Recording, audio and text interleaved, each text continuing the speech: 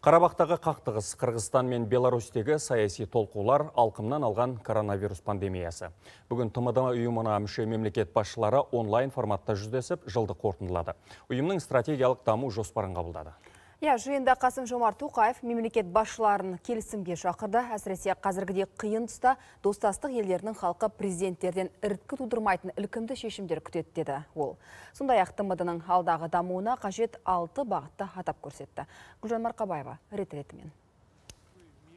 Тәжірибеге сәйкес жыл сайын тмд елдері президенттерінің бір ресми және екі бейресми отырыстары өтеді. Мұндай онлайн жүздесуге президенттер төселіп алғанда секілді. Бүгін бірлестіктің бүгіні мен болашағын үш сағатқа жуық сөз етті.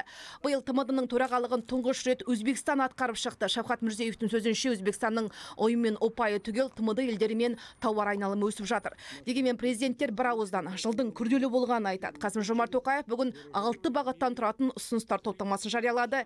Ең бастысы азаматтардың денсаулығы демек коронавируспен күрес. Сегодня первостепенные задачи. Бүгінгі күннің ең басты міндеті азаматтарымыздың коронавирусқа қарсы вакцинаға қол жеткізуіне мүмкіндік жасау. Осы орайда covid 19 індетіне қарсы жаһандық күресте әлемде бірінші болып вакцинасын тіркеген және халыққа екпе жасай бастаған ресей федерациясының жетекші рөлін атап өткім келеді. Қазақстан да өзінің вакцинасын әзірледі және оның сынамалары жақсы нәтиже беріп те жатыр.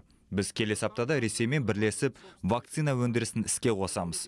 Ол ресейлік те қазақстандық та өнім ретінде экспортқа шығарылады. Кейбір сарапшылар тмд ұйым ретінде өз функциясын орындап отырған жоқ деп пікір айтады. Алайда ол өз өміршеңдігін дәлелдеді.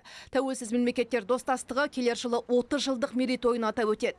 Жер шарындағы халықтың 5 проценті қоныстанған тмд елдерінің табиғи және экономикалық мүмкіндігі мол тек сол мол мүмкіндікті жандандыру қажет. В этих условиях наш абсолютный приоритет қазіргі жағдайда біздің негізгі басымдығымыз әлеуметтік экономикалық тұрақтылықты сақтау халықтың табыс деңгейін және жұмыспен қамтылуын қамтамасыз ету. Бірақ бұған сауда экономикалық қатынастардың барлық кешенін қайта жаңғыртпай қол жеткізу мүмкін емес. Өзара сауда саттықты одан әрі ырықтандыру кедергілер мен шектеулерді реттеу жөніндегі жұмыстарды жандандыру қажет. Инвестиция тартуға көлік транзит әлеуетін тиімді пайдалануға өнеркәсіптік кооперацияны тереңдетуге өңірлер арасындағы тікелей байланыстарды дамытуға баса мән беру керек. Достастық ұйымы құрылғалы бері саяси атмосфераны улап келген бір мәселе болса ол таулы қарабақ биыл тағы да тынышы кетті. Тіпті әскери қимылдарға ұласты. 44 күнге созылған қақтығысқа нүкте қойылды. Бүгін әзербайжан президенті ильхам әлиев қарабақты қалпына келтіріп оны әлемнің дамыған аймақтарының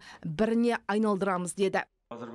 Босатылған аумақтарды қалпына келтіру жұмыстары басталды. Біз халықаралық сарапшыларды тарта отырып тұрғын үй қорына экологияға тарихи ескерткіштерге және тағы басқа келтірілген залалды бағалаймыз. Осы ретте тмд елдерінің компанияларын мердігерлік жұмыстарға белсенді қатысуға шақырамын. Бұл жұмыстардың барлығын өзіміз қаржыландыратын боламыз. Біз қарабақты қалпына келтіріп оны әлемнің дамыған аймақтарының біріне айналдырамыз.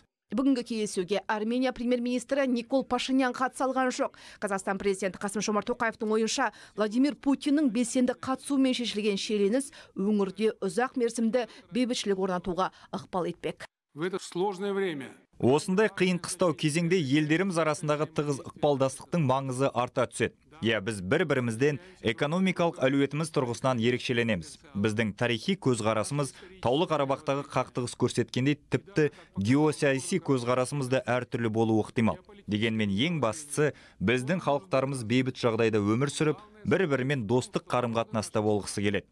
Біздің міндетіміз халықтарымыздың арасына сына қағылуына жол бермей өзара тиімді ынтымақтастықты арттырудың жолын іздеу. Қазіргідей стратегиялық құбылмалы жағдайда тмд елдерін жақындастыру.